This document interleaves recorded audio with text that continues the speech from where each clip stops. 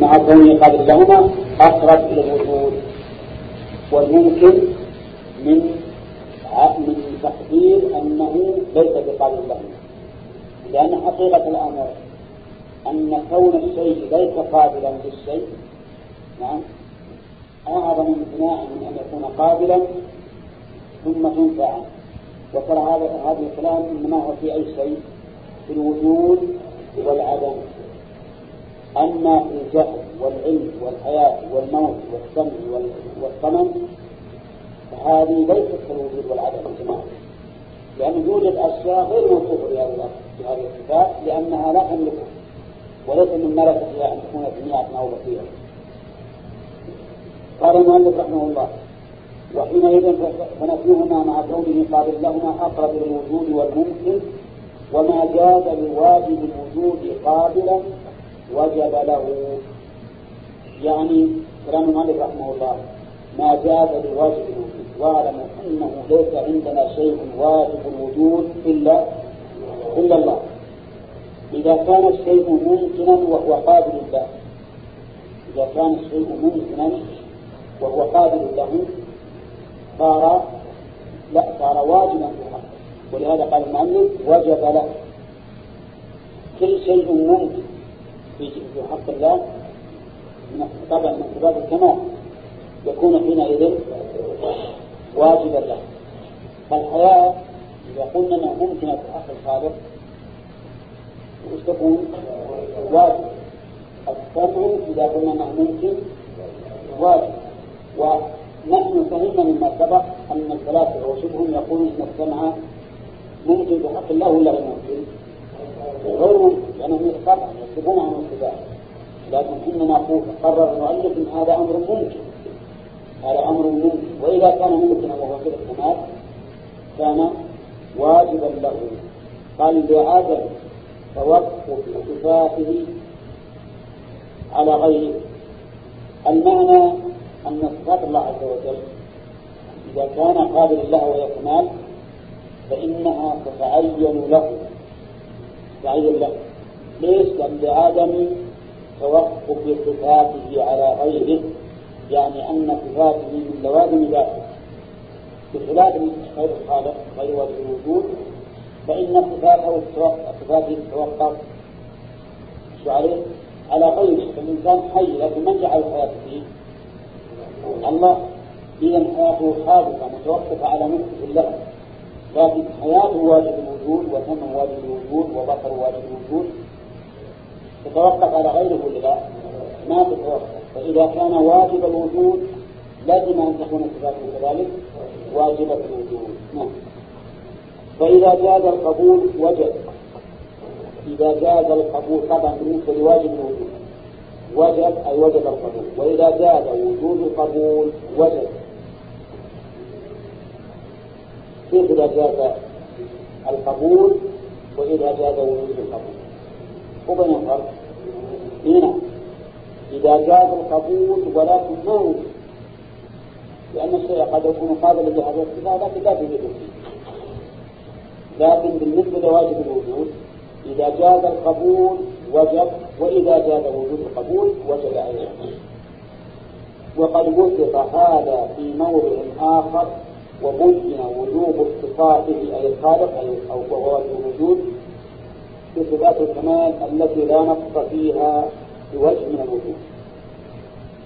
الحقيقة أن كلام المؤلف هذا الأخير فيه نوع من التناقض بما مع ما قبله مع ما قبله. ولهذا أنا رأيي أننا نلغي هذه المسألة هذه المسألة عند عند وهؤلاء الباطنية إلى إلى آخره لأنه فيه نوع من التناقض بما قبله ونقتصر على قوله وهذا غاية التناقض والفساد ثم نقول وقيل له أيضا. واضح؟ لا حطوا بين قوسين حطوا بين قوسين عشان يتفرحوا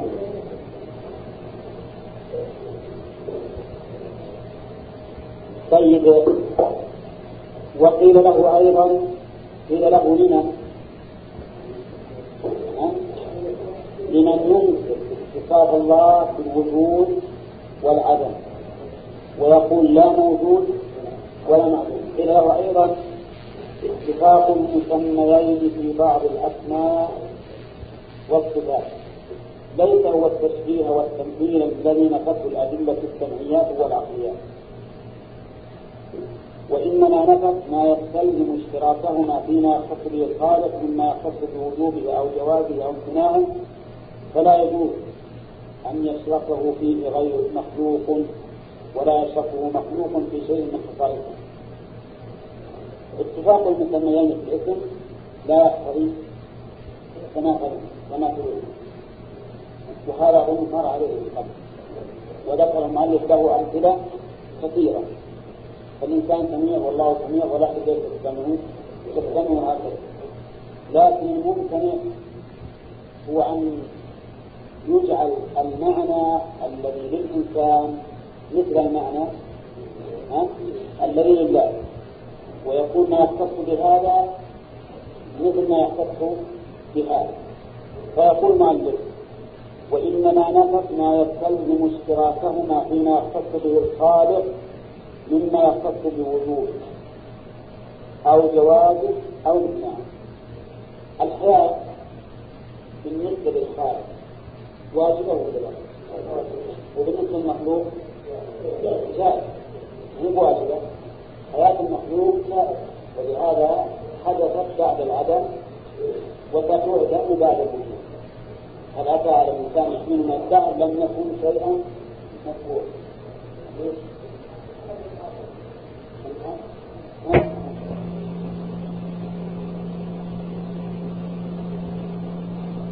تشبيها وتجسيما وتمويها على الجهال. الذين وتسمية كذلك تشبيها وتجسيما تمويه على الجهال. تمويه على الجهال الذين يظنون أن كل معنى سماه مسم بهذا الاسم يجب نفيه ولو سار هذا لكان كل مبطل يسمى يسمى الحق بأسماء يسمي الحق بأسماء ينفر عنها بعض الناس. يكذب الناس بالحق المعلوم بالسمع والعقل. وبهذه الطريقة أفسدت الملاحدة على طوائف الناس عقلهم ودينهم حتى أخرجوهم إلى أعظم الكفر والجهالة وأبلغ الغي والضلالة. وإن قال نفاة الصفات إثبات العلم والقدرة والإرادة مستلزم تعدد الصفات. وهذا تركيب ممتنع قيل وإذا قلتم هو موجود واجب وعقل وعاقل ومعقول وعاشق ومعشوق ولذيذ ومنفذ ولذة فليس فليس المفهوم من هذا هو المفهوم من هذا. فهذه معان متعددة متغايرة في العقل وهذا تركيب عندكم. وأنتم تثبتونه وتسمونه توحيدا فإن قالوا هذا توحيد في الحقيقة وليس هذا تركيبا ممتنعا قيل لهم واتصاف الذات بالصفات اللازمة لها توحيد في الحقيقة وليس وتركيبا ممتنعا. وليس هذا أو هو وليس هو وذلك أنه من المعلوم في صريح العقول أنه ليس معنى كون الشيء عالما هو معنى كونه قادرا. ولا نفس ذاته هو نفس كونه عالما قادرا. فمن جوز أن تكون هذه الصفة هي الموصوف فهو من أعظم الناس كالصبا ثم إنه متناقض فإنه إن جوز ذلك جاز أن يكون وجود هذا هو وجود هذا. فيكون الوجود واحدا بالعين لا بالنوع. وحينئذ فإن كان وجود الممكن هو هو وجود الواجب كان وجود كل مخلوق يعلم بعدم وجوده ويوجد بعد عدمه ونفس وجود الحق القديم الدائم الباقي الذي لا يقبل العدم وإذا قدر هذا يكون الوجود الواجب موصوفا وإذا قدر هذا كان الوجود الواجب موصوفا بكل تشبيه وتشبيه. وكل نقص وعيب وكل عيب كما يصرح بذلك أهل وحدة الوجود الذين طردوا هذه الأصل الباطل وحينئذ فتكون أقوال نفاة الصفات باطلة على كل تقدير. وهذا باب مضطرب فإن, فإن كل كل باب موضوع ليس هو ترتيبا من منها إلى هذا الحكم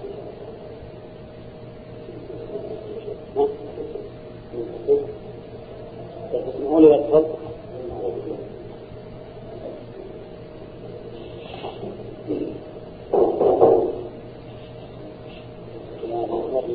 نعم طيب الآن وهذا باب مضطرب فإن كل واحد من النفاق لما أخبر به الرسول من الصفات إلى نعم. كل واحد. لما أخبر به الرسول من الصفات لا ينفي شيئا فرارا مما هو محذور إلا وقد أثبت ما يلزمه فيه نظير ما فر منه. فلا بد في آخر الأمر من أن يثبت موجودا واجبا قديما متصفا بصفات تميزه عن غيره ولا يكون فيها مماثلا لخلقه. فيقال له هكذا القول في جميع الصفات وكل ما تثبته من الأسماء والصفات فلا بد أن يدل على قدر متواطأ فيه المسميات ولولا ذلك كل ما تثبته ليش بهذا الإيمان لا. لأن هي تثبت فعل مضارع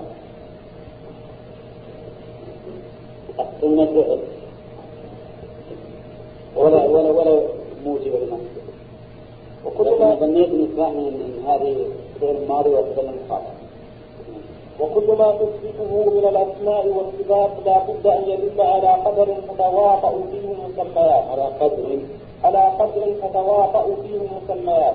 ولولا ذلك لما فهم الخطاب ولكن نعلم أن ما اختص الله به وامتاز عن خلقه أعظم مما يخطر بالبال أو يدور في الخيال.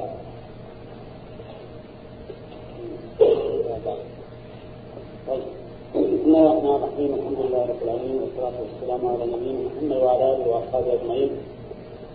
سبق لنا بيان كفار القائلين بأن الله تعالى لا يوصف بنفس ولا بإثبات وأن الذين قالوا هذا واعتلوا لقولهم بأن نفي النفي والإثبات فيما لا يقبل أمر ممكن أولا. نفي النفي والإثبات فيما لا يقبل أمر ممكن. كنفي الجهل والعلم عن الجماد والشجر وما أشبه. وأنهم أجيبوا على ذلك بجوابين. أحدهما أن هذا الذي قالوه لا يمكن في باب الوجود والعدم. لأن تقابل الوجود والعدم ليس تقابل ملكة وعدم ولكنه تقابل غلب وإيجاب. بمعنى أنه إذا طلب أحدهما لا بد من وجود الآخر. وإذا وجد أحدهما لا بد من انتفاء الآخر. وجواب آخر قلنا لهم إذا قلتم إن الله تعالى لا يقبل أن يتصف بهذه الصفات فإن هذا أعظم امتناعا وأشد فسادا مما إذا قيل إنه يقبل ولكنها لم تكن فيه. وضرب المؤلف مثلا أو نحن بيناه في مثل أن يقال الجدار لا يسمع والأصم لا يسمع. وأن نفي نفي السمع عن الأصم أهون من نفيه عن الحجاب لأن معنى ذلك أن الأصم يمكن أن يكون أن يكون متصفا بصفة السمع التي هي صفة كمال وأما الجدار فلا يمكن أن يكون متصفا بصفة السمع التي هي صفة كمال وعلى هذا فإذا قالوا أن الله سبحانه وتعالى ليس بقابل أن يوصف بذلك قلنا هذا أشد امتناعا وأشد تنقصا لله عز وجل.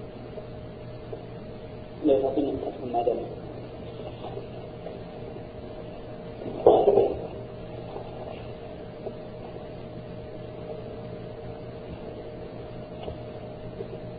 يقال أيضا وبين المؤلف فيما سبق وهو شرحناه.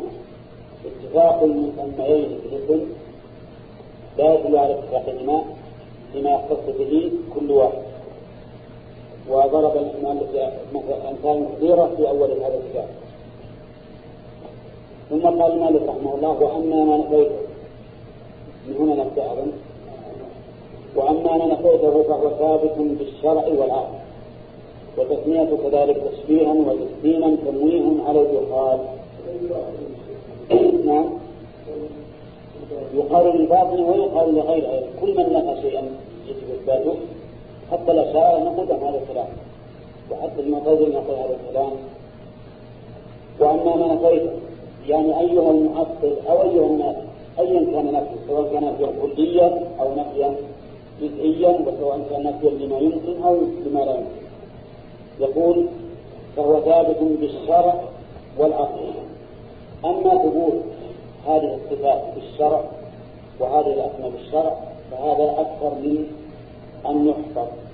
وما أكثر الأدلة الدالة على ثبوت أسماء الله وصفاته وأما ثبوت ذلك بالعقل فقد سبق أن الأشعرية يثبتون من الصفات طبعا بالعقل ويوافقون ويوافقون أهل السنة والجماعة في ذلك. وثبت أيضا وسبق أيضا أن أهل السنة والجماعة يثبتون ما نفاه الأشعرية شروط بالعقل أيضا. فيقولون إن دلالة العقل على ما نفيتم أو على بعضه على الأقل أعظم من دلالة ما ذكرتم نعم. مثل الرحمة والحكمة وما إلى ذلك. يقول الثالث فهو ثابت من الشرع والعقل وتسمية كذلك تشبيها وتسليما تمويه على الجهال يعني كما تقول اللي يثبت أن الله استوى على العرش؟ مجسد. اللي يثبت أن لله يدا حقيقية؟ ممثل. نعم. هذا في الحقيقة. إذا سمعه الجاهل العامي وش يظنه؟ يظنه صحيحا فيمر عليه بهذا الكلام ولهذا من جملة العبارات التي المشهورة عندهم إن الله منزه عن الأغراض والأبعاد والأعراض. أن يظهر الكلام هذا الكلام كله منزه عن الأغراض والأبعاد والأعراض. الأبعاد يريدون بذلك اليد والوجه والعين وما أشبه. والأغراض الأغراض بالغين يريدون بذلك نفي الحكمة. نفي الحكمة عن الله. والأعراض جميع الصفات مثل النزول والاستواء على العرش والضحك والغضب والرضا وما إلى ذلك. وهذه أعراض تحدث وتزول والله تعالى منزه عن هذه الأشياء عندما يقرأ العامي مثل هذا الكلام يقول هذا هو الحق هذا هو الحق. لكنه تمويه كما قال المعلم تمويه من الجهال الذين يظنون أن كل أن كل معنى سماه مسمى بهذا الاسم يجب نفيه. الأفراد في والأغراض والأفعال قال الذين يظنون أن كل مسمى أن كل معنى سماه مسمى بهذا الاسم يجب نفيه بهذا الاسم يشير إلى التنفيذ والتسجيل. وهم يظنون من كل معنى سماه الإنسان تمثيلا أو سماه تحريما فإنه يجب نفيه. نعم. ولو ساغ هذا. لكان كل معدل يسمي الحق بأسماء ينفر عنها بعض الناس ليكذب الناس بالحق المعلوم بالسمع والعقل. ها؟ لكان كل ممكن نعم.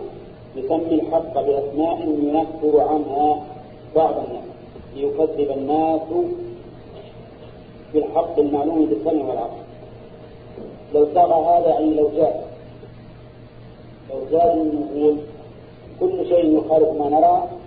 نصفه بعين لكن كل واحد يريد أن نصر الناس نعم يصف قوله بالعين الآن. أهل السنة والجماعة عند أهل التعطيل يسمون يسمون مشبهة. وأهل السنة والجماعة عند أهل التشبيه يسمون معطلة. يسمون معطلة معطلة من النصوص الواجب إثبات النصوص على التشبيه قال وبهذه الطريقة أفسدت الملاحدة على طوائف الناس عقلهم ودينهم حتى أخرجوه إلى أعظم الكفر والجهالة وأبلغ العز والضلال. بهذه الطريقة ما يعني بالطريقة جماعة طريقة التمويل والدجل وتشويه الحقائق. أفسدت الملاحدة على الناس عقولهم وأديانهم. حتى صاروا متشككين في الدين وفي العقيدة السليمة وهذا لا يزال الآن لا يزال موجودا بالنسبة للملل. حتى الآن النصارى مثلا يشجعون على المسلمين فيما يتعلق بأحكام الإسلام. وكذلك اليهود وكذلك الملاحدة كلهم يشبهون بمثل هذه التمويهات والعبارات التي يظنها الظن وإن قارنوا فات الصفات إثبات العلم والقدرة والإرادة. يستلزم تعدد الصفات. وعد و و وهذا تركيب ممتنع لاحظ أيضا هذا طريق آخر لنفاة الصفات. الطريق الأول الذي ذكره المؤلف آه أنه تشبيه وتنفيذ. الطريق الثاني يقولون إثبات العلم. والقدرة والإرادة. يعني وغيرها من الصفات مستلزم تعدد الصفات أن يكون الموصوف له علم بعد قدرة وإرادة وسمع وبصر حياة وما أشبه ذلك. وهذا ترتيب ممتنع. ترتيب. ما ترتيب؟ يعني مثل الآن لما أثبت ثلاث صفات فاخترت كل صفة مع الأخرى في موصوف واحد. قالوا وهذا يستلزم تعدد القدماء بناء على أن تعدد الصفات يلزم منه تعدد الموصوف. ويلزم هذا أن تتعدد الآلهة وهذا ضد التوحيد. يقول المؤلف نقول لكم وإذا قلت هو موجود واجب. هم يصفون الله بأنه موجود ويصفون بأنه واجب الوجود. كذلك بعضهم يصف الله بأنه عاقل وعاقل ومعقول. يقولون الله عاقل. لهذا يرون أن يدبر الخلق هو العقل. بس ما قالوا الكتروني لأن الكتروني ما رأوا إلا أخيرا. لكنهم عندهم أن يدبر الخلق عاقل. ويقول أيضا مع ذلك هو عاقل. عاقل معاقل. ومعقول بالنسبة لغيره. عقل عاقل معقول. هذا ترتيب ولا لا؟ ترتيب بعضهم يقول عاشق ومعشوق. وهؤلاء غلاة الصوفية الذين يصفون الله بالعشق يقولون إنه عاشق يعني لأوليائه ومعشوق من من اوليائه ولذيذ وملتذ ولذة هذا أيضا عند عند بعض الصوفية لأن كلمة العشق واللذة وما إلى ذلك هذا من غلاة الصوفية يقولون إن الله تعالى موصوف بهذه الصفات. يقول الشيخ الإسلام نقول لكم إذا قلتم هذا أفليس المفهوم من هذا هو المفهوم من هذا؟ المفهوم مما قلتم هو المفهوم مما نفيتم. وش الجواب؟ نعم بلى. الجواب إن المفهوم من هذا أنتم الآن رتبتم رتبتم واجب الوجود من كونه موجودا بعد واجب الوجود. من كونه عقلا وعاقلا ومعقولا. من كونه عاشقا ومعشوقا. من كونه لذيذا وملتزا ولذا هذه تركيبات ومع ذلك أنتم مقرون بها. فالذي يفهم من هذا الذي ذكرته هو الذي يفهم مما ذكرنا. فإن كان ما ذكرتم حقا لا يلزم الترتيب فما ذكرناه كذلك وإن كان ما ذكرناه موجب أو موجبا للترتيب وليس بحق فما ذكرتموه أيضا موجب للترتيب وليس بحق. فهذه معاني متعددة متغايرة في العقل وهذا ترتيب عندكم وأنتم وأنتم تثبتون وتسمونه ترتيبا. في الحقيقة هذا الكلام المؤلف ورد عليهم بما يقولونه وما يعتقدون. وبالنسبة للرد المعقول البصير أن نقول من المعلوم أن تعدد الصفات لا يستلزم الترتيب. ولا ولا يستلزم التعدد. فأنتم بأنفسكم نصف الواحد منكم بأنه حي وبأنه عالم وبأنه قادر وبأنه مبصر وبأنه سامع فهل إذا قلنا لواحد منكم بهذه الصفات يلزم أن يكون شخصا مركبا من أشخاص ولا لا؟ أصلا لا. أصلا هو واقع. نعم. فإذا إذا كان تعدد الصفات في المخلوق لا يلزم منه تعدد الذات ولا التركيب ففي الخالق من باب أول. وكل إنسان يعرف أن من نصف الإنسان بأنه طويل أو قصير أبيض أو أسود نعم وبأنه قوي أو ضعيف وقادر أو عاجز إلى ومع ذلك لا يلزم منه تعدد ولا تركيب هذا الجواب الذي ذكرناه الأخير. هذا جواب معقول بسيط لكن عدم المؤلف عنه لماذا؟ ليخاطبهم بما يثبتونه.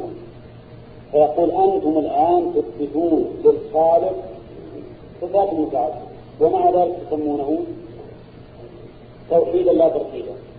فإن قالوا هذا توحيد في الحقيقة وليس وليس هذا تركيبا ممتنعا قلنا لهم واتصاف الذات باثبات اللازمة لها توحيد في الحقيقة وليس هو تركيبا ممتنعا أليس كذلك؟ فجوابنا عليهم كجوابهم عليه أو لنا طيب. وذلك أنه من المعلوم بطريق معقول أنه ليس معنى كون الشيء عالما هو معنى كونه قادرا. فقلنا العالم متصف بالعلم. والقادر متصف بالقدرة وكم من إنسان قادر وهو جاهل وكم من إنسان عالم وهو عالم. نعم. وأيضا ولا نفس ولا نفس ذاته هو نفس كونه عالما قادرا. صحيح. لأن كونه عالما قادرا حال زائدة على الذات. ولا لا؟ إذا أننا نفرض بل هو الواقع. أن توجد ذات لا عالمة ولا قادرة فليس كون الشيء هو الشيء هو نفس كونه عالما قادرا. إذ أن كونه عالما قادرا حال أو إن شئتم نقول وصف زائد على مجرد الذات قال فمن زوج أن تكون هذه الصفة هي الموصوف فهو من أعظم الناس خطة اللي يقول نصفه هي عين الموصوف هذا مخصص لأنه أنكر الحقائق. وقلت لكم فيما سبق. أن السلطائية هم الذين ينكرون الحقائق المعلومة في الحكم حتى أن واحد منهم ربما ينكر نفسه. فاللي يزعم النفس هي الموصوف. مش نقول هذا الرجل مخصص في العقليات. التي ليس أوضح منها والسبب هم انهم قالوا إن تعدد الصفات الكلمة الخطيبه وضد التوحيد لانهم يرون أن الصفة هي عين عين الموصوف إذا قلنا عالم فهذه ذات. قادر هذه ذات. ضمير هذه ذات. عليم نعم بصير هذه ذات. إذا كنا إذا وصفنا الخالق بأربع صفات. كم يكون واحد؟ أربعة وهذا القول الذي قالوه لا شك أنه باطل. ولا أحد ينكر وهو كما قال المؤلف فالسطر إنكار بالحقائق المعلومة الحكم. طيب. يقول ثم إنه متناقض. فإنه إن جوز ذلك جاز أن يكون وجود هذا هو وجود هذا. يعني هو متناقض. أن يقول إن الصفة هي الموصوف متناقض كيف ذلك؟ يقول فإنه إن جوز ذلك أي جوز أن تكون الصفة هي الموصوف جاز أن يكون وجود هذا. هو وجود هذا فيكون وجود هذا واحدا بالعين لا بالنوع صحيح. يلزم إذا ادعى أن الصفة عين الموجود أن يكون وجود فلان وجود فلان.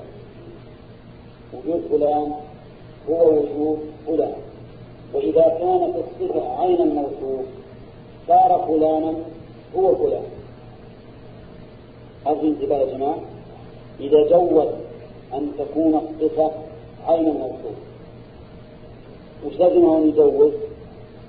أن أن الصفة بالنسبة لموصوفاتها صفة واحدة. أن الصفة صفة واحدة. مهما كانت في الموصوفين فيكون وجود هذا الشخص هو وجود هذا الشخص بل وجود الخالق هو وجود المخلوق. طيب وإذا قلنا إن الصفة هي الموصوف وقلنا إن وجود هذا هو وجود هذا لازم أن نكون عين هذا هو عين هذا. فيكون الموجود آه، واحدا بالعين لا بالنوع واحدا بالعين لا بالنوع يعني فأنا أنا أنت وأنت أنا. نعم. وصاحب الحمار هو الحمار والحمار هو صاحب الحمار. نعم. نعم. لأن هذا وحدة أهل وحدة الوجود. أهل وحدة الوجود هذا مذهب. يقولون الخالق والمخلوق شيء واحد والذكر والأنثى شيء واحد والحيوان البهيم والإنسان شيء واحد. لا يعني العقول يعني كفاية. إلى المهم أننا نقول لهذا لهذا الرجل الذي جوز أن تكون الصفة هي عين الموصوف. يقول إذا توفى هذا لازم تجعل وجود هذا الشيء هو وجود هذا الشيء. وإذا جعلت وجود هذا الشيء وجود هذا الشيء وأنت تقول إن الصفة عين الموصوف وش يلزم؟ أن يكون عين هذا الشيء هو عين الشيء الآخر فيكون الموجود واحدا بالعين لا بالنوع وهذا أنكم تعرفون الفرق بين الواحد بالعين والواحد بالنوع الواحد بالنوع مثل الآدمي نوع من المخلوقات.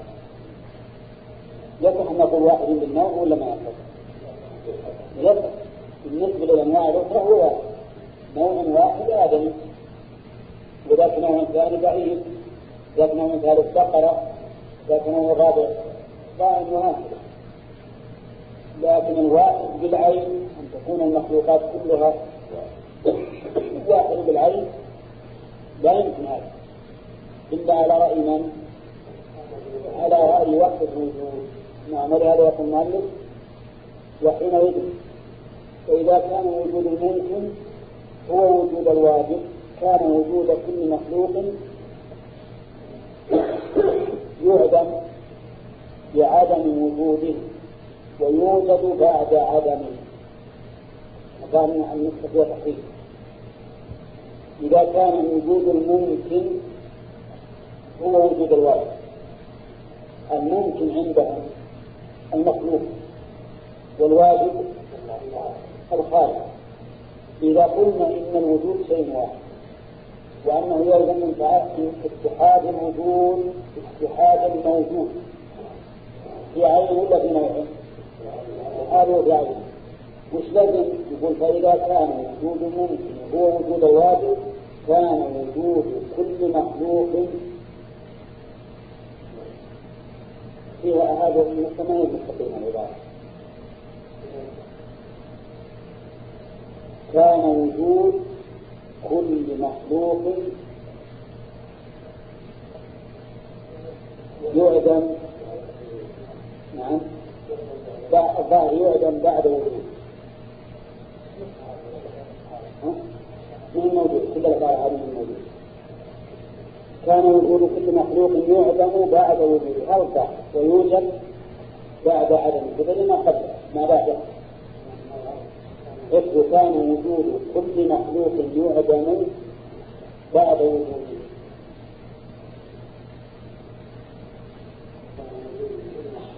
كل مخلوق يعدم بعد وجوده. يقول لعلها بعد وجوده.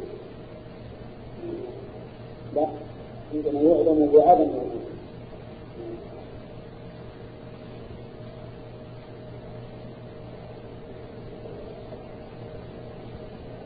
مخلوق يعدم بعد وجوده ويوجد أي وجوده بعد عدمه.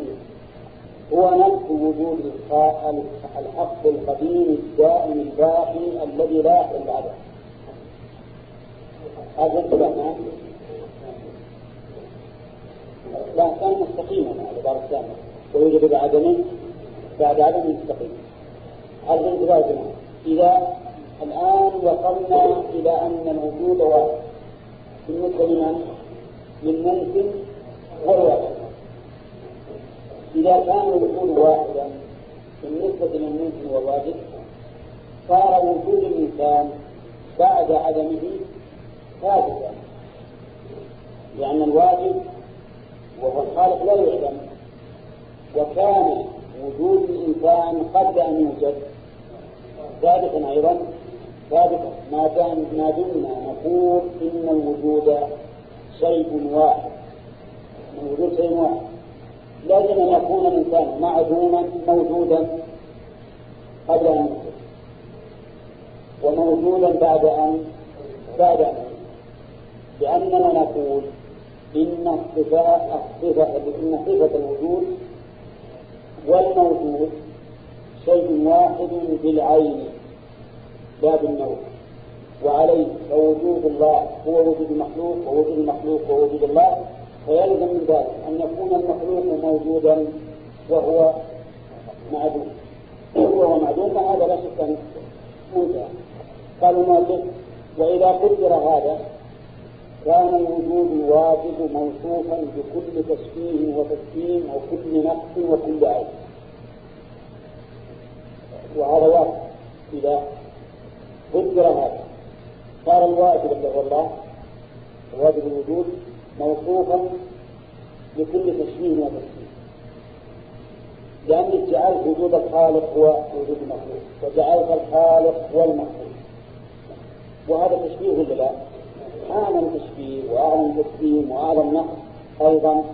لأنه والعياذ بالله يجعلون الخالق هو نفس الكلاب والحمير والخنازير والذئاب والسباع وغيره. وهذا لا شك إنه من أعظم ما يكون لتنفس الخالق. والغريب إن هؤلاء يريدون أن يفروا من من التشبيه. ويقعون بما هو اقبح وأعظم منه. قال كما يصدق بذلك أهل وحدة الوجود الذين طلبوا هذا العصر الفاسد وحينئذ فتكون أقوال من الصفات باطلة على كل تقدير. وصحيح أن مهما كان مهما حاولوا فأقوالهم باطلة. خلاصة هذه الفقرة أنها تعود إلى أي شيء؟ إلى إبطال القول بأن تعدد الصفات يلزم منه تعدد الموصوف. والتركيب وهذا مخالف للتوحيد. أجابهم المؤلف رحمه الله بجوابين. الجواب الأول أنكم أنتم تقولون بتعدد الصفات فتقولون واجب بعد واجب الوجود. وتقولون أنه عاقل وعقل ومعقول. وتقولون أنه عاشق ومعشوق وأنه لذيذ ولذة وملتذ فهذه كلها صفات ومع ذلك تزعمون أنه توحيد. وتقولون إننا نحن أهل السنة والجماعه اذا قلنا بتعدد الصفات لسنا موحدين وأنتم موحدون. فإذا يلزم يلزم فيما نفيتم نظير ما يلزمكم فيما أثبت فإما أن تثبتوا الجميع وإما أن تنفوا الجميع.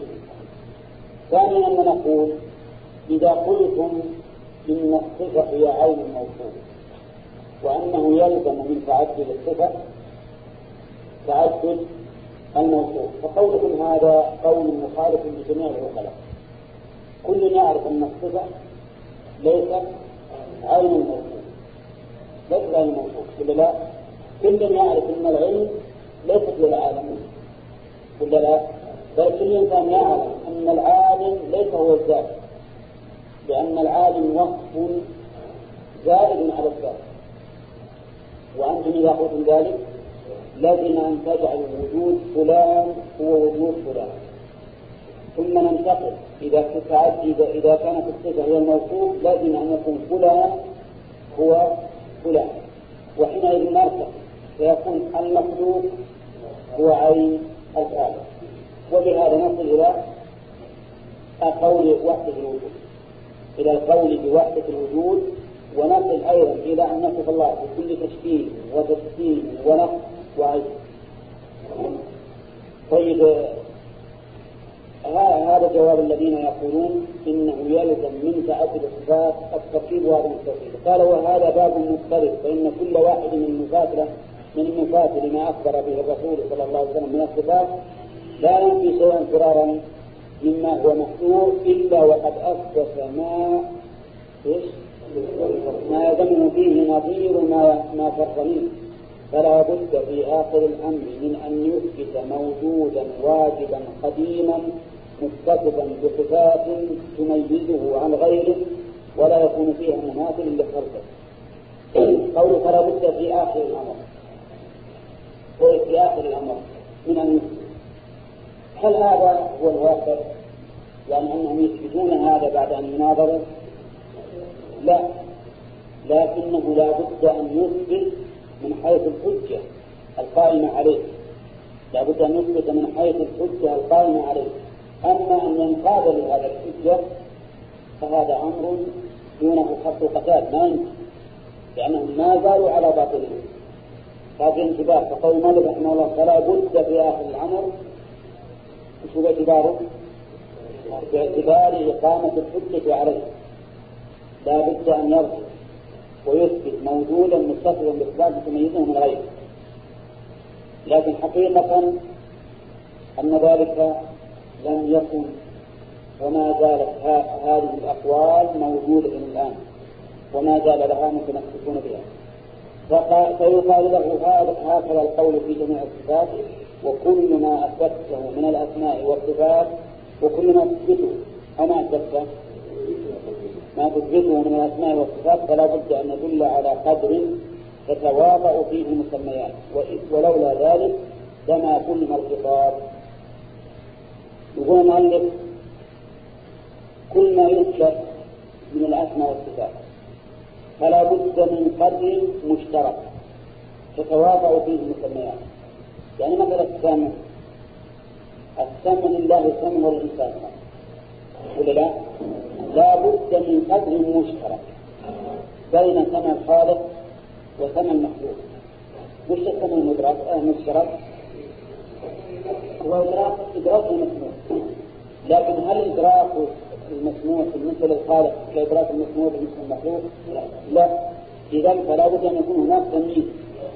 يقول المؤلف وهذا معنى مهم لولا ذلك لما فهم الخطاب. يعني لولا أن هناك قدرا مشتركا بين الصفات تتواضع فيه ولكن تختص كل صفة بما تتميز به لولا هذا ما فهم الخطاب. أرأيتم لو قلت أن لله سمعا ولكنه ليس فيه إدراك شيء مفهوم هل يمكن نفهمه؟ ما يمكن في الجنة نخل ورمان وفاكهة وما إلى ذلك وثياب نعم هل هذا النخل والرمان والفاكهة فيه قدر مشترك بينه وبين ما في الدنيا؟ ها؟ إيه لكن فيه قدر مشترك لولا القدر المشترك اللي بين هذا وهذا ما فهمناه أبدا. كما ندرس الرمان ولا ندرس النخل نعم.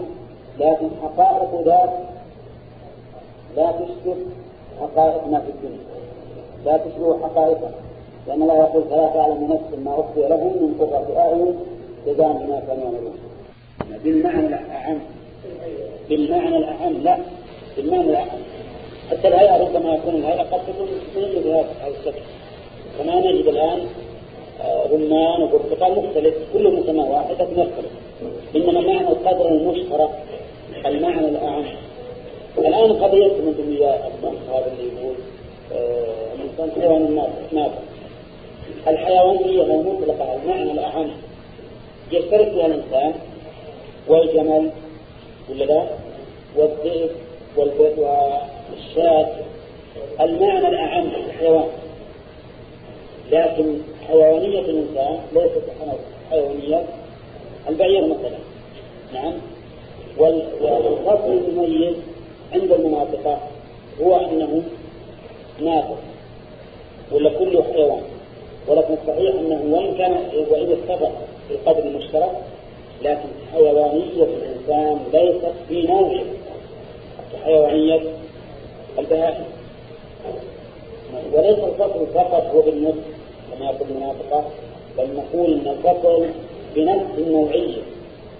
حيوانية الإنسان ليست حيوانية غيره وحيوانية من خلقه الله بيده أو يعني باعتبار أصله لا يمكن أن تكون مثل حيوانية المخلوقة بالكلمة. نعم قال ولكن نعلم أن ما اختص الله به وامتاز به عن خلقه أعظم مما يخطر بالبال أو يدور في الخيال. نعم؟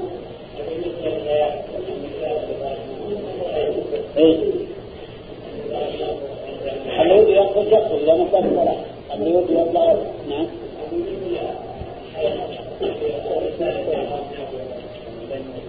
نعم إيه هنا في المعنى العام مشترك في المعنى العام هي الخيال لكن تختلف حياة الخالق عن المخلوق وكذلك القدرة والسمع والبصر واليد والوجه والعين والغيره كلها انفردت في أصل المعنى لكن تختلف وتتميز نعم الطرد معناه انهم الطرد انهم يجعلون الباب الباب واحد في كل شيء. هذا الطرد ما يسمون شيء. ابدا يجعلون عين الخالق هي عين المخلوق يعني مثلا ولهذا ابن القيم قال النونية يا أمة يا أمة مأبورها موضوع تبا لذي العقول والأذهان معنى معبودها موضوعها يعني هم يرون ان زوجة الإنسان هي إيه مثلا يرون كل شيء هو الله يرون أن كل شيء من الله الباب الله والمروحة الله نعم والسقف الله نعم وكل شيء هو الله ونفسه هو الله أيضا ولهذا يقول ابن عربي الحديث يقول ما في جبة إلا الله. هو في جبته يقول ما في الجبة إلا الله نعم؟ ليش لم يرى أن أن بكر شيء واحد؟ نعم؟ وفيه أخرى تقول لا قال الاتحاد اتحاد الوجود. اتحاد الوجود أظن فرق بين الوحدة وبين الاتحاد كأنه بالأول شيئين ثم صاروا شيئا واحدا ولهذا أهل الاتحاد يكفرون أهل الوحدة. وأهل الوحدة يكفرون أهل الاتحاد ونحن نكفر نكفر الجميع. أي نعم. اللهم لا. هذا القول بالاتفاق وقول بالجهل هذا الثاني.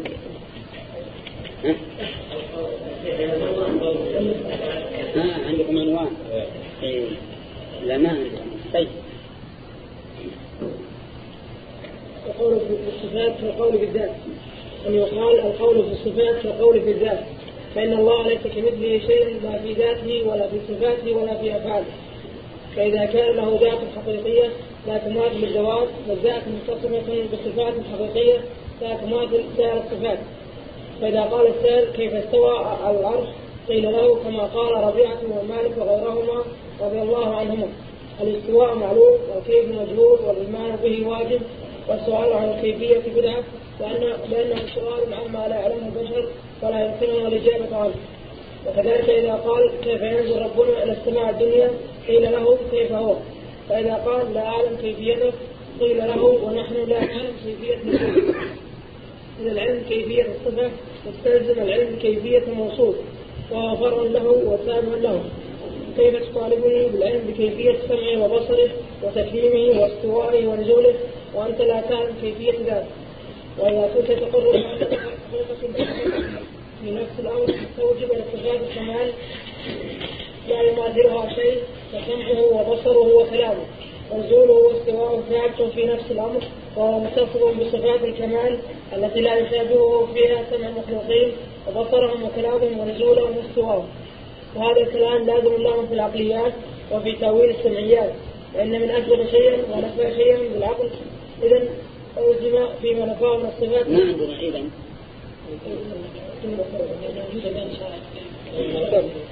عندك إن من أثبت كل. طيب. نعم إذا نلزم عندكم. طيب. إذا ألزم فيما نفاه من الصفات التي جاء بها الكتاب والسنة نظير ما يلزمه فيما أثبته. فلو طولب بالفرق بين المحظور في هذا وهذا لم يجد بينهما فرقا ولهذا لا يوجد لإخوات بعض الصفات دون بعض الذين يجيبون فيما نفوا إما التفويض أو وإما التأويل المخالف لمقتضى اللفظ قانون مستقيم. بسم الله الرحمن الرحيم. بعد ما سبق من إجابات المؤلف على كل الأقسام الثلاث وهم الذين يثبتون بعض الصفات وينكرون بعضا ويثبتون جميع الأسماء. وهؤلاء من؟ اللي يثبتون جميع الأسماء وبعض الصفات دون بعض. على نعم. وكذلك أيضا أجاب عن الذين يثبتون الأسماء دون الصفات. وهم المعتزلة. وأجاب عن الذين ينكرون الأسماء والصفات. ويصفون عن النقيضين وهؤلاء هم الغلاة من الفلاسفة وغيرهم. نعم. أجاب عن هؤلاء الطوائف كلها بإجابات لا يمكن التخلص منها لهؤلاء وكل هذا تابع للأصل الأول وهو أن القول في بعض الصفات كالقول في بعض. قال وهذا يتبين بالأصل بالأصل الثاني. عندكم الجملة هذه ولا لا؟ اي ما عندكم عندي هذه. أي والله طيب تكتبون وهذا يعني ما ذكر. لا ما عندي عنوان نعم. لا بس وهذا يتبين بالأصل الثاني وهو أن يقال القول في الصفات كالقول في الذات. وهذا يتبين بالأصل, بالأصل الثاني. وهذا يتبين بالأصل. نعم. لا لا قبل العنوان قبل العنوان. يمكن اللي عندكم العنوان المختصر شوف اللي عندي. وهذا يتبين بالأصل الثاني وهو أن يقال القول في الصفات كالقول في الذات فإن الله ليس كمثل شيء.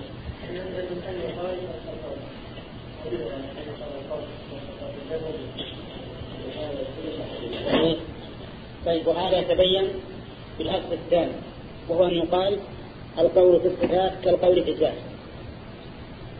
وهذا المشار إليه الأصل الأول.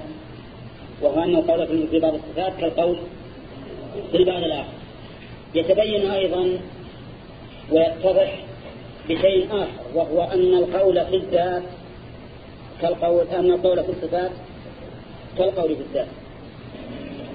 كيف القول في الصفات كالقول في الذات؟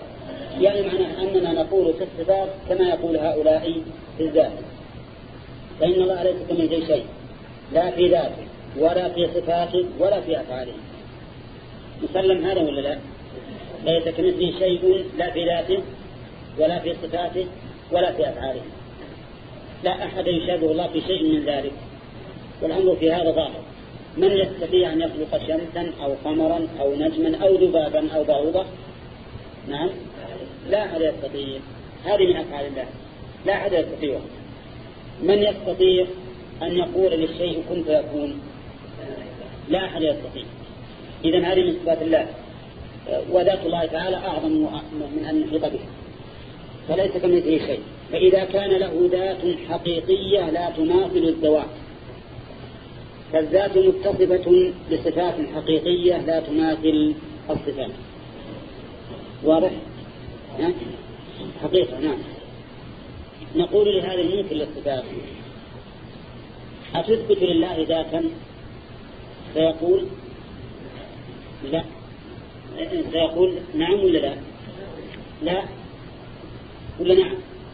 لو قيل له أتثبت لله ذاته. سيقول نعم. ما يمكن يقول لا لأنه لو قال لا لكفر وصرح بكفره نفى الخالق بإذن الله ذاته. نقول له هل هذه الذات التي أثبتها لله تشبه ذوات المخلوقين؟ سيقول لا. ليش؟ لأنه إنما فر من إثبات الصفات خوفا من من التشبيه والتمثيل. فسيقول لا لا تشبه ذات المخلوقين نقول له القول في الصفات كالقول في الذات. إذا فلله صفات لا تشبه صفات, المخلوقين. ولهذا يقول فإذا كان له ذات حقيقة لا تماثل الذوات فالذات متصفة بصفات حقيقة لا تناسب سائر الصفات. واضح؟ طيب. بقينا في شيء آخر. أثبتنا صفة. لكن هل نثبت كيفية الصفة؟ لا أيضا. ما نثبت تكييفا لهذه الصفة. ولهذا قال فإذا قال السائل كيف استوى على العرش؟ الآن الذي يقول كيف استوى مثبت للاستواء. لكن يسأل عن أي شيء؟ عن الكيفية. كيف استوى؟ فإننا نقول له كما قال ربيعة ومالك وغيرهما رضي الله عنهم الاستواء معلوم والكيف مجهول والإيمان به واجب والسؤال عن الكيفية بدعة. نعم ربيعة الشيخ مالك. الشيخ مالك. ربيعة بن عبد الرحمن. أي نعم هو شيخه. ونقول الاستواء معلوم. الاستواء معلوم. كيف معلوم من أي شيء؟ من حيث المعنى. من حيث المعنى معلوم. استوى في اللغة العربية تأتي بمعنى على وارتفع. وبمعنى استقر. بمعنى استقر. قال الله تبارك وتعالى فإذا استويت أنت ومن معك على الفلك فقل الحمد لله الذي نسيك استويت يعني علوت واستقررت. وقال تعالى لتستووا على ظهوره ثم تذكروا نعمة ربكم. مش ما تستووا عليها؟ فعلوا وتستقروا عليها وقال تعالى واستوت على الجودي يعني استقرت عليه. طيب إذا لا لا لا صاعد صاعد وارتفع وعلى معنى واحد. ولهذا حدثنا صاعد وارتفع. نعم. في فسر عند السلف بأربعة معاني. ارتفع وصعد وعلى واستقر. لكن صعد وارتفع وعلى معناه واحد. فنكتفي بالعلو الذي هو معنى على. فنقول على واستقر. معنى استوى على واستقر. طيب. إذا الاستواء معلوم. من أي وجه معلوم؟ من حيث المعنى. لأن معناه العلو والاستقرار. كلما رأيت استوى في اللغة العربية معداة بعلى فإنما معناها العلو والاستقرار. ولا تأتي بغير هذا المعنى. وقلنا له الكيف مجهول. ما هو الكيف معدوم؟ الكيف مجهول. يعني له كيفية لكنها مجهولة. ما ندري كيف استوى وفي واللفظ المشهور الكيف غير معقول. غير معقول.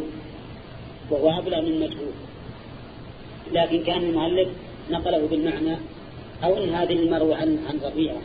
أما مالك فالمروي عنه غير معقول يعني أنه لا يمكن أن يعقل ويدركه العقل. نعم؟ كما أن الشرع لم يأتي به أيضا. الإيمان به واجب. ليش واجب الإيمان به؟ لأنه جاء في كتاب الله وأجمعت عليه الأمة فوجب الإيمان به. والسؤال عن كيفية بدعة. طيب لماذا؟ لأنه سؤال عما لا يعلمه البشر ولا يمكنه الإجابة عنه. هذا التعليم من المؤلف فيه نظر حقيقة. السؤال عنه بدعة. ما نقول لأنه لا يمكن الوصول إليه؟ لأن آه، ولا يمكن يعلمه البشر. لأن هذا التعبير يقتضي أن يكون الجواب والسؤال عنه تكلف. السؤال عنه تكلف محاولة للمحال لأنه ما يمكن يعلمه البشر. لكن نقول السؤال عنه بدعة لأنه لم يسأل عنه الصحابة والسلف الصالح. هل سأل الصحابة؟ هل سألوا هذا؟ هذا السؤال. رسول الله صلى الله عليه وسلم لا. إذا لو كان هذا من الدين لكان يسأل عنه أو يبين في كتاب الله وسنة رسوله فلما لم يرد بيانه في السنة ولا في الكتاب ولا في السنة ولا سئل عنه علم من ذلك أنه بدعة. السؤال عنه بدعة لأنه لم يسأل عن الصحابة رضي الله عنهم رسول الله صلى الله عليه وسلم. كما أن السؤال عنه أيضا السؤال عنه تكلف. لماذا؟ لأنه لا يعلمه البشر ولا يمكنهم الإحاطة به. لقمان. إذا فعندنا أمران. السؤال عنه بدعة ما نعلل بأنه لا يمكن الإحاطة يعني هذا ما أقصد أن يكون بدعة. لو أسألك الآن عن شيء ما يمكن أن تحيط به ما يقال هذا بدعة؟ نعم. لكن لو أسألك عن شيء من العبادة ما سألت عنه الصحابة قلنا إن هذا بدعة. على كل حال الآن صار الاستواء معلوم. معلوم إيش؟ المعنى. والكيف مجهول. والإيمان به واجب. والسؤال عنه بدعة يعني عن كيفيته بدعة كما قال السيد رحمه الله. وكذلك إذا قال لك إذا قال لك كيف ينزل ربنا إلى السماء؟ الدنيا قيل له كيف هو؟ فإذا قال لا أعلم كيفيته قيل له ونحن لا نعلم كيفية نزوله. هذا أيضا جواب جواب من وجه آخر. إذا قال لك كيف نزول الله إلى السماء الدنيا؟ بالأول أتى بكلام مالك إن الكيف؟ مجهول هنا أتى بإلزام الخصم نقول له كيف هو بذاته؟ ها؟ وش يقول؟ يقول ما أعلم كيفيته. نقول له إذا كنت لا تعلم كيفيته فكذلك أيضا لا تعلم كيف نزوله. لا تعلم كيف نزوله. ولهذا قيل له ونحن لا نعلم كيفية نزوله إذ العلم بكيفية الصفة يستلزم العلم بكيفية الموصوف وهو فرع وتابع له صحيح هذا ولا لا؟ ها؟ عندي وتابع ما يخالف الواو ها؟ وهو فرع له وتابع له نعم إذا قال هذا الناس الذي ينفي الصفات بحجة التشبيه طيب نقول له العلم بالصفة وش يستلزم العلم بالموصوف. لأنك إذا علمت الصفة وهي صفة لشخص مثلا يستلزم أن تعلم الموصوف لأن الموصوف عبارة عن عين متصفة بصفات فإذا علمت هذه الصفات لازم من ذلك أن تعلم العين المتصفة بها أو الذات المتصفة بها. فما دامت الذات لا يمكن العلم بها فكذلك الصفات لا يمكن العلم بها. لأننا لو فرضنا العلم علمنا بصفات الله أو بكيفيته كيفية الصفات لازم من ذلك أن نعلم هذا الموضوع. نعم. يقول فكيف تطالبني في العلم بكيفية سمعه وبصره وتكليمه واستوائه ونزوله وأنت لا تعلم كيفية ذاته؟ صحيح. هذا ظلم. وحي طالب يقول لازم تعلم كيف ينزل كيف استوى كيف يتكلم كيف يفعل. وهو بنفسه لو سامعه عن كيفية ذاته وش يقول؟ يقول لا.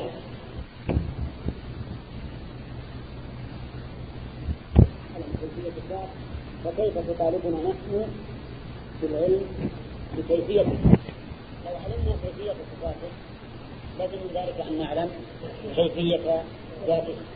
وهذا الشيء عندكم مستحيل. طيب. آه نقول يقول وأنت لا تعلم كيفية ذاته وإذا كنت تقر بأن له حقيقة ثابتة في نفس الأمر مستوجبة بصفات الكمال لا يماثلها شيء فسمعه وبصره وكلامه ونزوله واستواؤه ثابت في نفس الأمر وهو متصف بصفات الكمال التي لا يشابهها فيها سمعهم المخلوقين وبصرهم وكلامهم ونزولهم واستواؤهم وهذا الكلام لازم له في العقليات وفي تأويل السميات أظن إن شاء الله واضح الكلام. ها؟ أن نقول القول في الصفات القول في الذات. فما دام هذا النافي للصفات يثبت لله ذاتا حقيقة ويقول إن هذه الذات لا تشبه الذوات ذات المخلوقين. نقول فلك يثبت لله صفات حقيقة؟ نعم. كملوها لا تشبه صفات المخلوقين لأن القول في الصفات القول في الذات. فكما أننا لا نعلم ذاته كيفيتها يعني فإننا لا نعلم كيفية الصفات. لأننا لو علمنا كيفية صفاته لازم أن نعلم كيفية ذاته لأن الصفة ثابتة بالموصول طيب. يقول هذا لازم هذا الكلام لازم لهم في العقليات وفي تقليل السمعيات. سبقا قلنا إن السمعيات هي الكتاب والسنة والعقليات هي ما يحكم به العقل الأمور النظريات هذه العقليات فهو لازم لهم في النظريات ولازم لهم أيضا في تأويل السمعيات حيث قالوا مثلا المراد باليد القدرة. نقول ما يلزمكم في اليد يلزمكم في القدرة. نعم؟ ما يلزمكم في اليد. هم يقولون اليد الحقيقية؟ ما يمكن لأن الله يقصد التشبيه. نقول أيضا والقدرة الحقيقية. يقتضي التشبيه لأن الإنسان له قدرة. الإنسان له قدرة له قوة له نعمة. نعم وإذ تقول الذي أنعم الله عليه وأنعمت عليه. فإذا إذا أولتم لزمكم. فيما أولتم نظير ما يلزمكم. فيما نفيتم من الحقيقة. كذلك أيضا في العقليات مر علينا أنهم إذا أثبتوا الإرادة وشو طريقة إثبات الإرادة في العقل ها؟ التخصيص نعم. إذا قالوا إن تخصيص هذا الشيء بما يختص به دليل على الإرادة نقول لهم وما بنا من النعم وانتفاع النقم؟ دليل عليه. على الرحمة التي أنتم تنكرونها. ما هذا؟ هو لازم لهم في العقليات. ومثال لزمه في العقليات ما سبق. كذلك أيضا في تأويل السمعيات أنا أضرب لكم الآن مثلا في العقليات. قالوا إن العقل في الإرادة دل على الثبوت. بأي طريق؟ بالتخصيص يعني يكون الله يخصص أجل هذا حارا وهذا باردا وهذا مضيئا وهذا مظلما إلى آخره.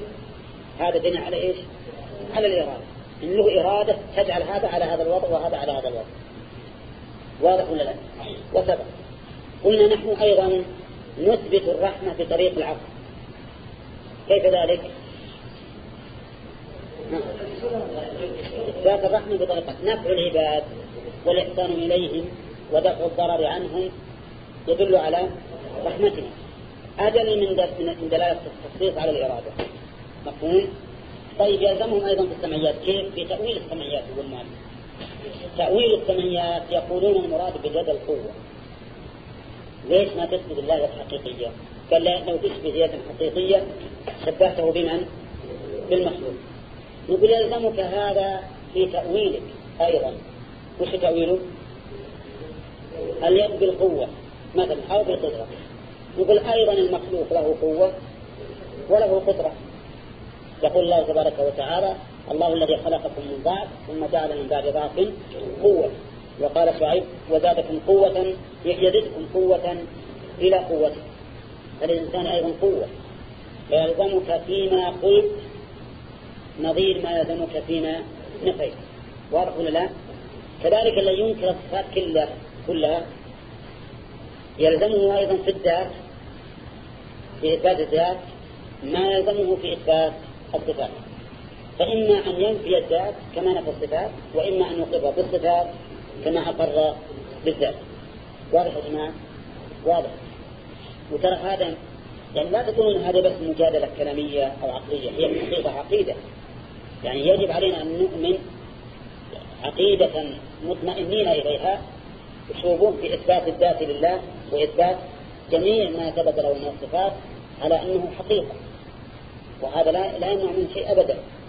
حتى الأشياء التي تأتينا إن شاء الله من بعض الناس قلنا أنها تأويل. فهي ليست بتأويل. الذين يؤولون وما يعني يمشي أتيته هرولا مثل ذلك. مثل يجب علينا نثبت هذا الشيء على الحقيقة وأن الله يأتي هرولة ولكن هل نحن نعرف هرولة الله؟ ما نعرف. فعندنا مسكت هذا هذه الطريق استرحت من جميع التأويلات. من جميع التأويلات. إلا شيئا ينكره الواقع. مثل ما ورد في الحجر كما سيقول المؤلف أن من صافح من استلمه فكأنما فكأنما صفح الله. هذا معلوم أنه ليس المقصود بهذا أن الحجر هو يد الله. لا يمكن هذا. وش السبب؟ الحجر من الأرض مخلوق مصنوع موضوع في مكانه. ما يمكن يكون هذا. وهذا شيء معلوم لأن لأن الحس يمنعه. نعم. وسيأتي إن شاء الله الكلام على هذا في كلام المؤلف. طيب. أقول فإن, فإن من أثبت شيئا ونفى شيئا بالعقل ألزم فيما نفاه ألزم فيما نفاه من الصفات التي جاء بها الكتاب والسنة نظير ما يلزمه فيما أثبته. ولو طولب بالفرق بالفرق بين المحذور في هذا وهذا لم يجد بينهما فرقا. ولهذا لا يوجد لنفاة بعض الصفات دون بعض الذين يوجبون فيما نفوه إما التفويض وإما التأويل المخالف لمقتضى اللفظ لا يوجد له قانون سليم. قانون بمعنى قاعدة. لا أنا هذا إعادة لبعد الكلام.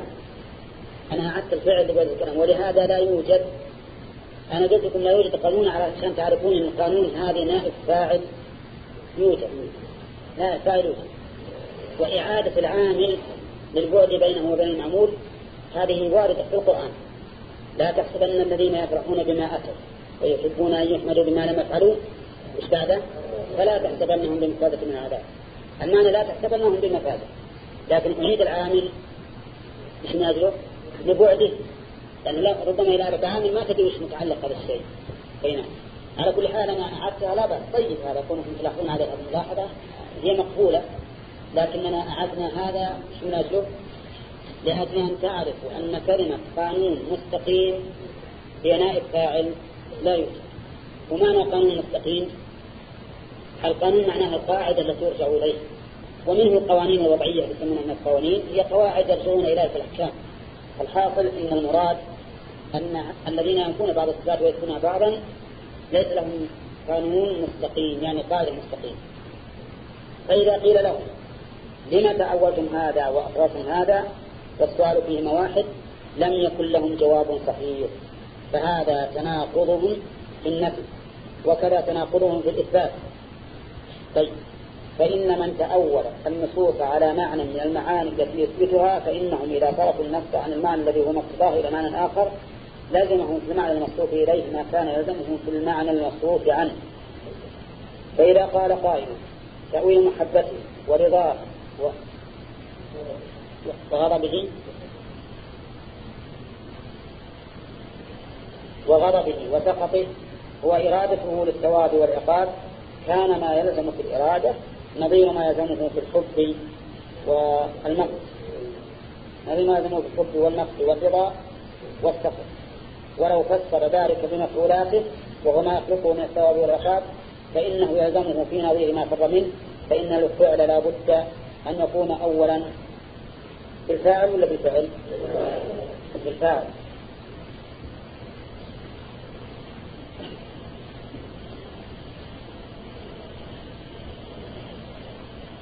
بالفاعل والثواب والعقاب المفعول إنما يكون على على ما فعل ما يحبه. ها؟ إنما يكون على فعله. على فعل شاهد على فعل ما يحبه ويرضاه ويسقطه ويبغضه المصيب ويبغضه المصيب المعاقب. أظن هذا واضح. مو واضح؟ طيب هو نفس اللي قلنا لكم قبل قليل هو نفس الشيء. هم إذا قالوا مثلا لا نثبت المحبة ولا البغض نعم. وإنما نفسر ذلك بالإرادة. بإرادة الثواب أو العقاب. كذا ولا لا؟ نقول يلزمكم في الإرادة نظير ما يلزمكم في إثبات الحب والبغض. فأنتم إذا قلتم إن إثبات الحب والبغض لله يقتضي المماثلة لأن الحب والبغض من صفات المخلوقين. قيل لهم والإرادة من صفات المخلوقين. فيلزم بإثبات الإرادة وش يلزمهم؟ إثبات المشابه لا إثبات المشابه لأنهم إذا قالوا إن إثبات المحبة يعني المؤلف الآن بينقذهم بالإثبات. نقول لهم إذا زعمت أن إثبات المحبة يقتضي المماثلة فكذلك إثبات الإرادة يقتضي المماثلة وأنتم مثبتون للإرادة. فيلزم على رأيكم إثبات لا يا أخوان. ما ما نبغى نتكلم بالنفي الآن. يلزم على رأيكم إثبات التمثيل.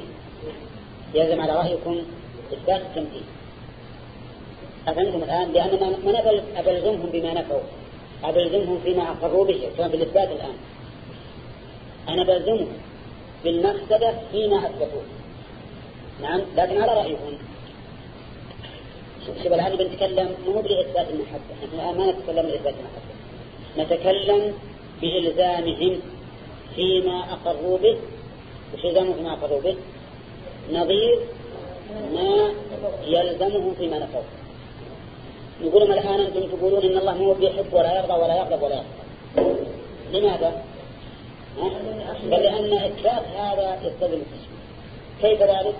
قال لأن اللي يحب ويرضى ويسخط ويغضب هو المخلوق نقول لهم هذا الكلام ليس بصحيح لأننا نقول محبة الخالق تليق به وكذلك غضبه يليق به كما مر علينا واضح؟ لكن يلزم على كلامكم أيضا أن أن تجعلوا لله مثيلا. كيف؟ لأنكم قلتم إن الله يريد. إن الله يريد. ولا لا؟ نقول لكم والإنسان أيضا يريد. كما قال الله تعالى تريدون عرض الدنيا والله يريد الآخرة. منكم من يريد الدنيا ومنكم من يريد الآخرة. فيلزم على قولكم وش على قولكم إثبات التمثيل كما تعمل أليس كذلك؟ طيب إذا انفكوا عن هذا. قالوا إذا نفسر المحبة والبغض بما ينتج عن ذلك من الثواب والعقاب. والثواب والعقاب مفعول مفعول لله. يعني يفسرون المحبة بالمفعول مو بالإرادة انتقلوا يعني. إذا انتقلوا من الإرادة قالوا دعوا الإرادة. نخليها تفسرها بإيش؟ بالمفعولات لا بإرادتها. بالمفعولات لا بإرادتها. وقالوا المراد بالمحبة الثواب. مو بإرادة الثواب؟ والمراد بالبغض العقاب. الثواب والعقاب مفعول ولا صفة للفاعل؟ ها؟ الثواب والعقاب. مفعول ولا صفة للفاعل؟ أي نعم مفعول ما فيها شك. لأن الثواب إنسان عمل عندي عمل. بعشرة ريالات. وأعطيته عشرة ريالات. هذا الثواب. هذا الثواب هو من صفته ولا لا؟ لا مو من صفته. الإثابة من صفته. لكن نفس الثواب مفعول لي وليس من فعله. دراهم أعطيته إياه وراح. لو كان هذا من صفته كان معناه شبه المخاطرة الموجود هذا ما هو من فعله هذا ليه؟ هذا الثواب شيء دائم منفصل فيقولون نحن نفسر المحبة بالثواب. والغضب وشوه بالعقاب. لماذا؟ لأجل أن ينفكوا عما ألزمناهم به. يعني قلنا لهم أنتم الآن إذا فكرتم بالإرادة وقابل للتشبيه قالوا لا ننتقل عن هذا التشبيه ونفسره بأي شيء؟ بالثواب والعقاب. وأظنكم قرأتم في في الجلالين في قوله يحبهم ما يحبونه قال يثيبهم يثيبهم فسر المحبة بأي شيء؟ بالثواب. فرارا من أنه لو قال يريد ثوابهم لألزم بالإرادة أن يكون ممثلا. قال ما أقول أخلي المحبة ثوابا والثواب مفعول دائم. ليس من صفة المزيد. المؤلف رد عليه قال يقول ولو فسر ذلك بمفعولاته وهو ما يخلقه من الثواب والعقاب. فإنه يلزمه ولو فسر ولو ولو فسر فسر من؟ المؤول. فسر ذلك بمفعولاته. وهو ما يخلقه من الثواب والعقاب. فإنه يلزمه فيه يلزمه ها؟ وش يلزمه؟ أرجو واحد يتكلم بس. يلزمه؟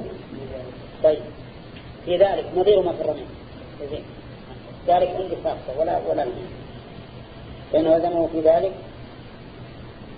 فإنه يلزمه في ذلك نظير ما فر منه في ذلك وشوفوا أي في ذلك التفسير وش التفسير؟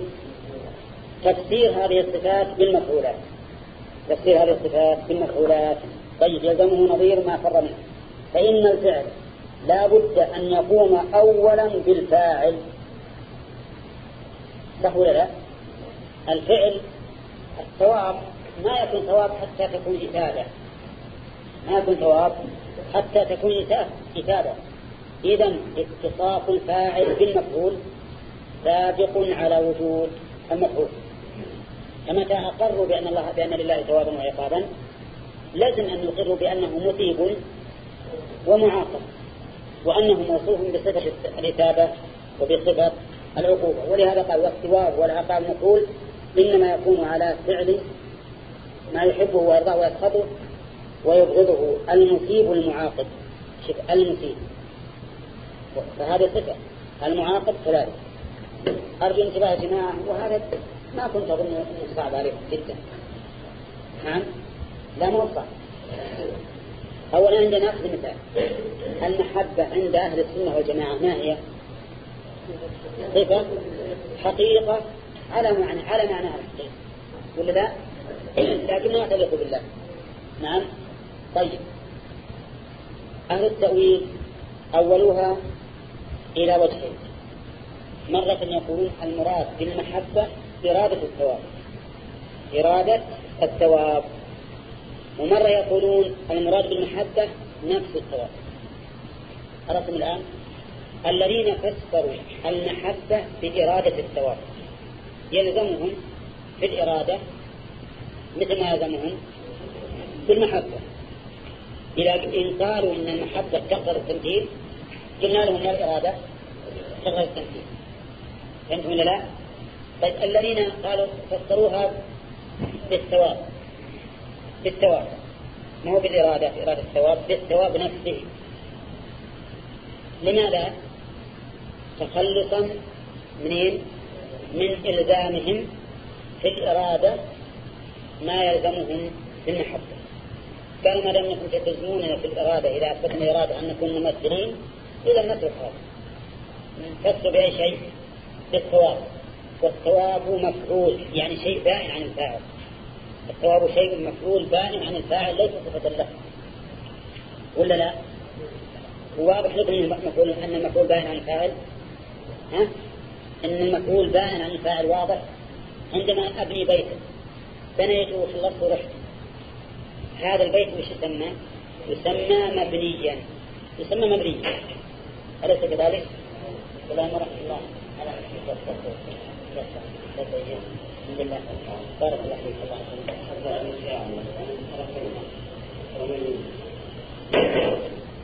فاعل يقول لي ظاهر الساعة هي عندك أقول هذا البيت الآن يسمى مبني مبني يعني مفعول هل هو بائن من الباني ولا لا؟ بائن منه. الثواب الذي يثيبه الله تعالى من, من, من يحب بائن من الله ولا غير بائن؟ بائن. الحمد لله الآن إذا فسروا المحبة بالثواب صحيح أنه من حيث الظاهر انفصلت عن الله ولا لا؟ ولا من صفاته لأن المفعول شيء بائن عن الله. لكننا نقول لهم هل يمكن مفعول بدون فعل؟ ها؟ قول ما يمكن يوجد مفعول بدون فعل. إذا فاتصاف الفاعل بإعجاز المفعول لازم على وجود المفعول. متى وجد المفعول؟ فلا بد له من فاعل ولا بد للفاعل من فعل. وحينئذ يكون أثبت لله صفة الفعل. ولا لا. حينئذ يكون أثبت لله صفة الفعل. فنقول أنتم الآن أثبتتم لله صفة فعل فهل تقولون إن هذا الفعل مثل فعل المخلوقين؟ ها؟ لا نقول يلزمكم أن تقولوا ما دام أنكم تقولون ما يمكن يوجد فعل ما يمكن يوجد صفة للمخلوق تثبت لله إلا وهي مشابهة إذا يجب عليكم أن يكون الله تعالى مشابه للمخلوق حيث أثبتم له فعلا حيث أثبتم له فعلا. فصار الآن مهما راحوا إلى أي جهة فإن التمثيل يلحقهم ويلزمهم ولا يمكن أن يتخلصوا منه إلا بالرجوع إلى الحق وهو إثبات الصفات الواردة على وجه الحقيقة من غير من غير تمثيل. نعم. نعم؟ اي نعم هي صفة نعم لا هي صفة فعلية. صفة فعلية. مثل ما نقول إن الله فعل الناظر المحيي المميت إيه. المهم على جماعة فهمتم الآن؟ ترى هذه لا تقولون الآن فهمنا وأنتم ما فهمتوا لأن طبعا تتناقشون فيها. سواء في الدرس القادم أو بعده. لابد أن تناقشوا. فصار الذين يثبتون بعض الصفات بعض الصفات بحجة أن إثبات إثباتها الذين ينفون بعض الصفات بحجة أن إثباتها يستلم التشبيه وش يلزمهم؟ يلزمهم فيما أثبتوه لأن الآن بنتكلم معهم في باب الإثبات. يلزمهم فيما أثبتوه وش؟ نظير ما يلزمهم فيما نفوا. كذا ولا لا؟ المحبة قالوا قالوا المراد بها إرادة الثواب. قلنا لهم يلزمكم التمثيل. يلزمكم التمثيل إذا تصموها بالإرادة. أولا لماذا؟ لأن للمخلوق إرادة وأنتم ما فررتم من من وصفه بالمحبة إلا حيث أن المخلوق له محبة. تقولون إثبات المحبة يستلزم التمثيل. نقول إثبات الإرادة يستلزم التمثيل على رأيكم. عدلوا عن هذا. وقال نفسر المحبة في الثواب. والثواب شيء منفصل. ولا لا؟ الثواب شيء منفصل عن المبين عن عن المفيد. فهو أمر دائم منه. فلا تلزموننا الآن بالتمثيل لأننا فسرناه بالثواب وهو منفصل عنا. لماذا نقول ماذا نقول لهم؟ نقول طيب الثواب مفعول. ولا لا؟ الثواب مفعول. يعني الله هو المثيب له فهو مفعول والمفعول لا بد له من فاعل والفاعل يقوم به الفعل فلا يمكن يوجد مفعول إلا وقد قام الفعل بالفاعل قبل وجود المفعول ولا لا؟ فإذا يلزمكم الآن التمثيل حيث أثبتتم أن الله أن لله فعلا فإن للمخلوق أيضا فعلا. كراما كاتبين يعلمون إيش؟ ما تفعلون. يعلمون ما تفعلون. فأنتم الآن وقعتم في التمثيل إذا ما وش تسوون الآن؟ لهم مفر ولا لا؟ ما لهم مفر مهما رأسوا. جميع المؤولين المحرفين لدلالة الكتاب والسنة في صفات الله وأسمائه مهما فروا فإنهم واقعون. شوفوا في نظير ما فروا منه. ما يمكن يتخلصون أبدا. إلا إذا أثبتوا الحقيقة. نعم. طيب يقول فلهم فهم فهم إن أثبتوا الفعل على مثل الوجه المعقول في الشاهد للعبد مثلوا وإن أثبتوا على خلاف ذلك فكذلك الصفات إن قالوا أن الفعل مثل فعل المخلوق يلزمهم أن يقول بهذا ها؟ وش يصير هذا؟ طيب وإن قالوا لا الفعل على غير الوجه المعروف عند العبد. نقول كذلك أيضا الصفات لا كذلك الصفات. يقول وإن أثبتوه على خلاف ذلك فكذلك الصفات الله أعلم